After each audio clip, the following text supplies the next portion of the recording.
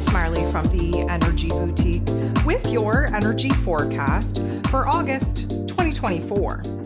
So, on August 19th, we have our full moon taking place in Aquarius energy. It is going to reach its peak potency at 27 degrees 15 minutes, and that's super important. We're going to touch on that in a second. And we are reaching its peak potency at 2:25 p.m. and of course Eastern Standard Time. So I have a lot to unpack, but first of all, before it slips my mind, the reason why 27 degrees 15 minutes is so important, the connection that we're going to make right now is because Uranus, the great awakener, who basically gives us new visions, new aha moments, new epiphanies, Uranus rules over the Aquarius energy that we're having the full moon in. And Uranus is going to go retrograde September 1st, along with Pluto retrograding back into that Capricorn energy. Another topic, another theme for another day. Uranus is going to go retrograde at this exact degree. But of course, he's in Taurus energy. So, what does that tell us? Well, first of all, let's just talk about the fact that this full moon is a super moon. It's in close proximity to the Earth, so there's an extra oomph there. Feels like there's, you know, moon vibes on steroids there is this element where we're connecting the dots. This is what this Aquarius energy is going to do for us under this full moon. Again, Uranus is like a lightning bolt of intelligence, of insight, of just vision, if you will. The Aquarius energy, very futuristically focused on setting us free kind of, you know, coming up with some solutions, some aha moments, some light bulb moments on what we could do differently in order to align with the new goal, new vision, new dream. So we're going to have all of this illumination, if you will, on a higher realm of awareness, a higher realm of consciousness. We are going to have new perspectives emerge, especially as we look back, because again, five planets currently retrograde. We're looking back, we're reflecting, we're reviewing, we're replaying some things in our mind because we're trying to see it from a higher perspective. We're trying to give it a deeper meaning, we're trying to give it a deeper purpose, we're trying to make sense of things. So, how does this tie into the Uranian energy that I just mentioned? Whatever insight, whatever aha moment, whatever epiphany, whatever new lens, new perspective is coming at us under this full moon in Aquarius, we will be taking action upon cups come September 1st when Uranus goes retrograde at this 27 degree, 15 minutes of Taurus energy. Taurus energy rules over our physical realm. And because we have all these planets in a retrograde, we're not in a time to take action as of yet. That is coming at us, especially as we move into September. Now, this full moon in Aquarius, it has a lot of different astrology taking place under the influence of this quote unquote semi normal full moon. I say quote unquote because none of the moons as of late have been normal in any kind of capacity. We have T squares popping off, giving us this pressure cooker type of energy, like we're just going to blow up, like we're just going to explode. Hopefully, that's going to happen in the mental realms, in the higher realms of intelligence, really helping our brain fire off and spark off in new neural pathways, new insights, new visions, new goals, new dreams, new ways to solve the problems that we've been banging our head against a wall about, okay? But pressure cooker energy nonetheless. The pull to the past and the pull to the future is definitely making us dance, definitely making us cha cha cha. Again, we're still under the reverberatory effects of Mars and Jupiter's conjunction in Gemini energy here this past Wednesday, again, furthering the divide, furthering the pressure in the mental plane, furthering the intensity on the choices, the decisions, the path, the directions that we have to go from here. And under this particular full moon in Aquarius, not only are we still in that Mars Jupiter vibe, but now we are watching Saturn square Jupiter. This takes us back to 2020. This is the first quarter, let's call it crisis cycle in the Saturn Jupiter meetup that took place December of 2020. Saturn, of course, is karma, roles, responsibilities, systems, structures, foundations. He's retrograde in this Pisces energy, collapsing the old way of life, the old belief system, the old way of doing things And we are building new boundaries, a new parameter, a new framework on what we want to be building towards. Again, new goal, new vision, new dreams. However, Jupiter is also the great expander, but if we don't have the belief system to actually encourage and support us in thinking that our goals, our visions, our dreams are actually achievable, then they're not going to happen. This is pressure on the mental plane to rewire our brain in the most positive, optimistic type of inner dialogue and narrative in order for us to actually align mind, body, and soul with the vision, the goal, the dreams that our heart, Leo energy, is now asking us to pursue. There's a lot going on. Of course, if you want to jump over to my Patreon, there are some astro classes that are going to kind of talk about this full moon in Aquarius, what this pivot point, this breakdown versus breakthrough is going to mean for us. Specifically, there's already an astro class talking about the Mars Jupiter conjunction.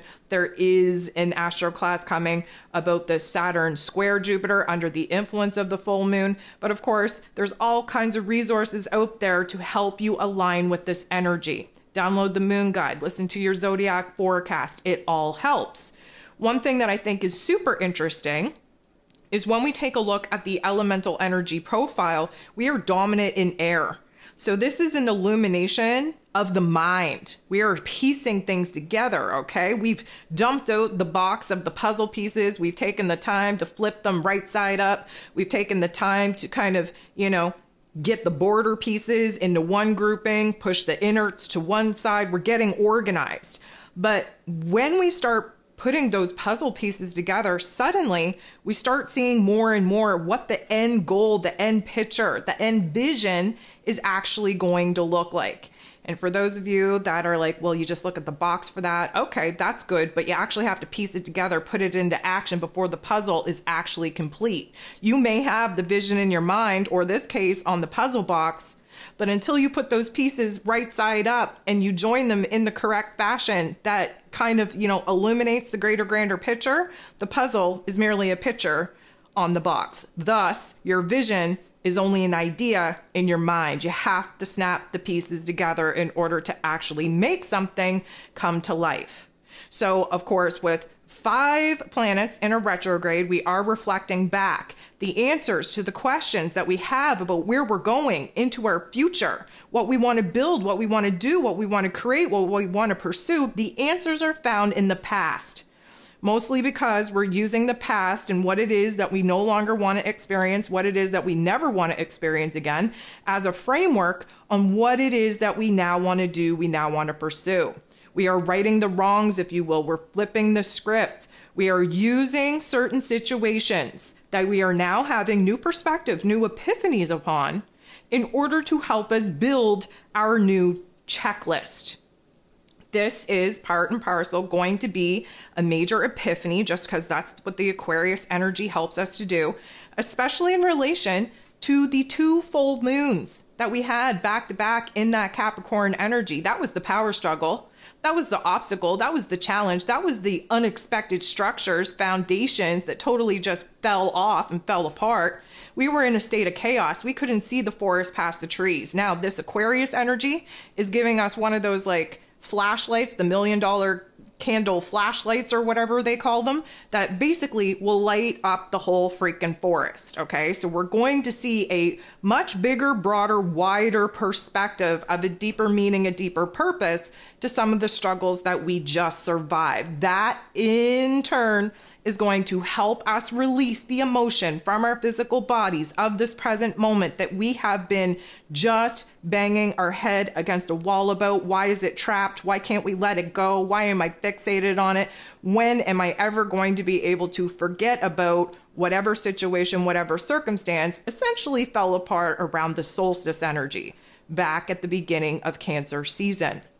So, this particular Aquarius energy is lighting things up in a big way, illuminating what needs to go, what needs to be released. And spoiler alert, has a lot to do with the way you think, a lot to do with the way that you see yourself, see the vision for your future self, and actually have an inner dialogue and a narrative supported enough to actually put the pieces together to get you from where it is that you're at to where it is that you desire to be.